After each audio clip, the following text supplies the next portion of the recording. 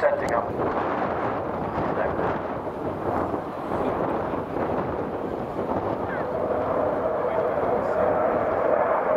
a PA-200 example from Max Air Arm. We're going to see them doing three flypasts with different degrees of wing sweep demonstrating the variable geometry or swing-wing characteristics of the tornado.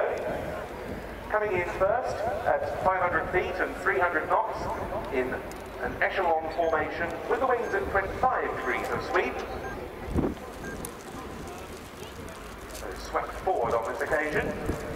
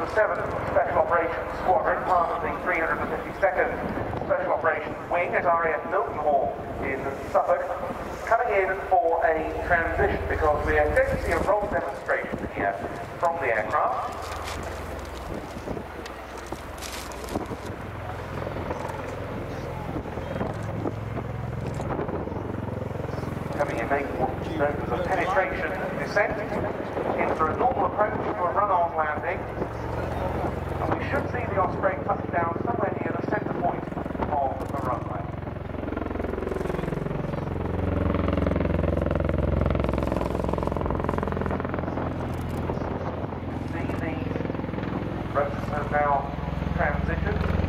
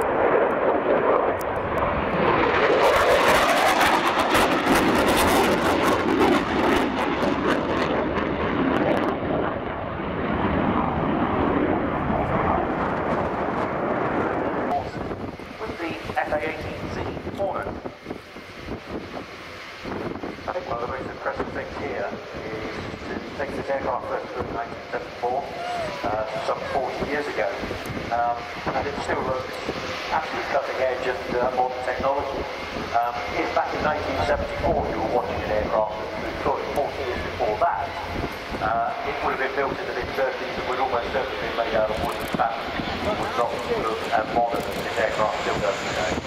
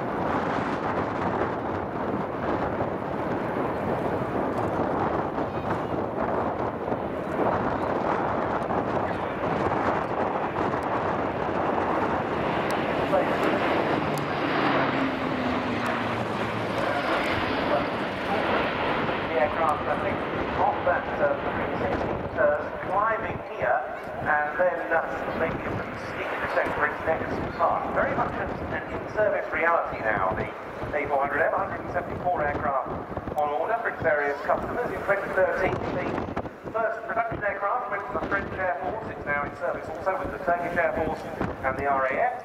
It's been delivered to the German Luftwaffe and the Royal Malaysian Air Force. Already the French have been using their A400Ms to support British military operations in Mali. Still the flight testing goes on and some further progress made this year occurs when one of the A400M test aircraft simultaneously